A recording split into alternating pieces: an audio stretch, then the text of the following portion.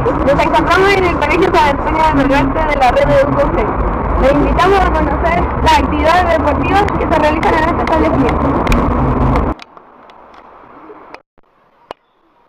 Nos encontramos al interior del Colegio San Antonio del Baluarte, en donde se realizan los deportes. Vamos a ver.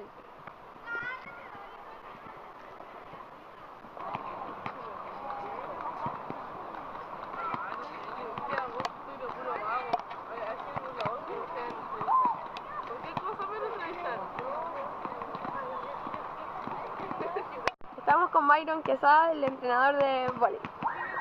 Sabemos que lleva muy poco tiempo entrenando. ¿Cuáles son sus expectativas del voleibol de damas? Bueno, mi expectativa en el voleibol de damas de este colegio es generar un, un nicho donde las niñas y niños pudieran practicar deporte de manera eh, masiva, recreativa y por qué no llegar al rendimiento. Nos contaban que habían ido al voleibol, al campeonato de voleibol de Duca.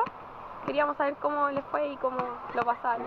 Nueve equipos que participaron, obtuvimos el tercer lugar con un muy buen desempeño.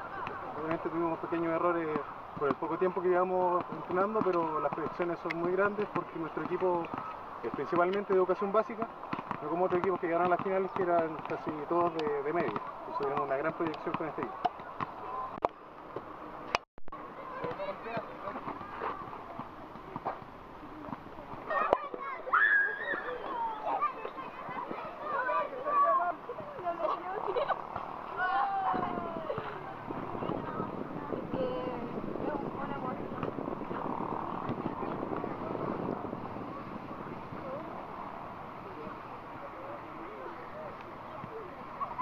Nos encontramos con Antonia Zamorano, una de las deportistas más destacadas de atletismo. ¿Hace cuánto practica atletismo acá en el colegio? Desde el año pasado, desde octubre. ¿Y por qué elegiste entrenar atletismo? Porque el tío Guillermo me había dicho en una competencia que tuve em, eh, por la. ¿Y ¿Te gustó el atletismo? Gracias. Nos encontramos con Guillermo, el entrenador de atletismo de acá del colegio. Buenas tardes. Buenas tardes. Entrenador, usted como ex alumno de este establecimiento, conoce muy de cerca la trayectoria. Y a los jóvenes que hoy practican, ¿cómo los ven en un futuro? Bueno, yo, como ex alumno acá del colegio, como usted bien lo dice, yo también participé en el atletismo acá en el colegio, fui atleta, eh, lanzaba vale, jabalina, y por lo mismo me ligué a esta disciplina tan entretenida y bonita que es el atletismo. Eh, yo llevo tres años ya acá en el colegio, eh, el futuro de los atletas pequeños y los que son de enseñanza media, eh, ha ido mejorando mucho durante el tiempo, y durante estos tres años que yo entrenando. Hay varios pequeños que en la formación han ido obteniendo logros, como es Antonio Zamorano, que ya fue entrevistada, que ya prácticamente un año conmigo, Isidora Pérez, que ya en los campeonatos de Luca, en los campeonatos que han, este, se han hecho en otros colegios y en los de Santiago ha obtenido buenas marcas, ha venido con medallas. Eh, también tenemos a la Ciencia Media que está Eduardo Orellana, Luciana Villanueva, que también han representado en los regionales al colegio. ¿ya? Eh, bueno, en particular yo me siento muy conforme con la labor que he hecho y que estoy haciendo, ya que la formación era el objetivo principal que tenía el establecimiento para que hubieran atletas destacados eh, durante el largo de los años que va a estar acá. Muchas gracias. Nos encontramos con el entrenador de básquetbol, Rodrigo Castro. Entrenador, ¿qué nos puede contar de la trayectoria del equipo? Este es un equipo nuevo. Hemos estado ya un par de años trabajando en este colegio, en básquetbol. Y hemos sacado generaciones completas, en las cuales el año pasado nos vimos desfavorecidos con la partida de, de varios alumnos que eran bastante buenos en la selección, sobre todo en media. Este año se ha dado algo que, que año anterior no se había dado, que es una efervescencia importante en básica, quinto, sexto básico, en la cual hay una gran concentración de alumnos, cerca de 30 alumnos participando en cada entrenamiento, por lo tanto eso nos tiene muy contentos como colegio en lo personal como entrenador y estamos enfrentando partidos amistosos a nivel comunal y regional. ¿Cuáles son las falencias de este equipo?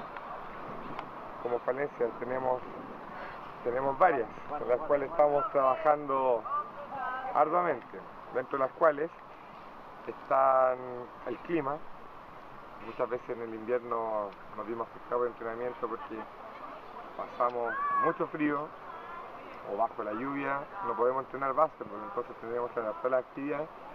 Y lo otro también que ya en este tiempo el sol es bastante fuerte y nos vemos que hay días que se nos queman los pies literalmente por la temperatura que hay ahí. Muchas gracias. De nada, pues gracias a ustedes.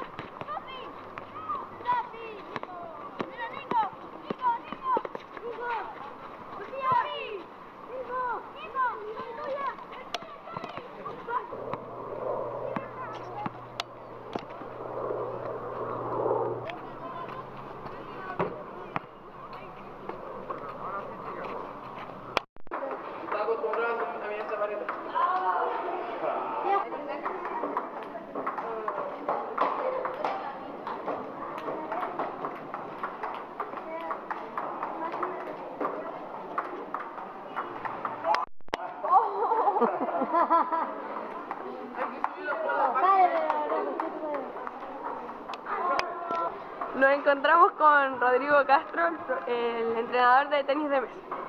Cuéntanos un poco de su trayectoria aquí en el colegio como entrenador. Bueno, como entrenador llevo seis años, de mi séptimo año, y hay que destacar también de que fui exalumno de este colegio, por lo tanto, como jugador también fui otros 10 años más. Por lo tanto, una trayectoria bastante amplia en este colegio. ¿Cuáles son sus proyecciones de estos jóvenes? En estos jugadores, lo principal es ocupar el tiempo libre de buena manera por medio de un deporte tan bonito como lo es el tenis de mesa. Como objetivos secundarios también tenemos la participación de torneos, de campeonatos, los cuales ellos se, se enfrentan con jugadores de la misma red, de otros colegios de la red de UC y con colegios de, de la comuna también en la infancia que son campeonatos escolares. ¿Qué es lo que debería mejorar tanto como establecimiento y deportista? Creo que dentro de las deficiencias que tenemos este, a nivel deportivo es el poco tiempo, sobre todo con los alumnos de enseñanza media. La jornada escolar es tan extensa, la- las exigencias son, tan cada vez más altas, que hace que los alumnos siempre opten por priorizar obviamente los estudios por sobre la actividad física, en este caso el deporte tenis de mesa. Creo que organizando bien el tiempo libre de cada alumno podría también compatibilizarlo con, el deporte, pero siempre nos vemos en- en- envueltos en esto de que por priorizar también tiempo de estudio deja de lado el deporte. La asistencia en sí de los alumnos es la que se pues. Muchas gracias. Nos encontramos con Dominique Rodríguez, una de las mejores deportistas de tenis de mesa de aquí del colegio. ¿Cuáles han sido tus mayores logros? Eh, ganar un campeonato de ping-pong del consejo, una, un comunal, no, provincial, ¿Por qué el tenis de mesa y no otro deporte? porque es que me gusta y me apasiona, y me entretiene, me siento bien jugando.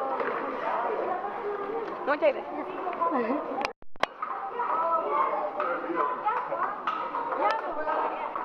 Bueno, estamos llegando al final de nuestro programa y nos despedimos con el gran entusiasmo de estos jóvenes deportistas. Nos vemos hasta la próxima. ¡Chao!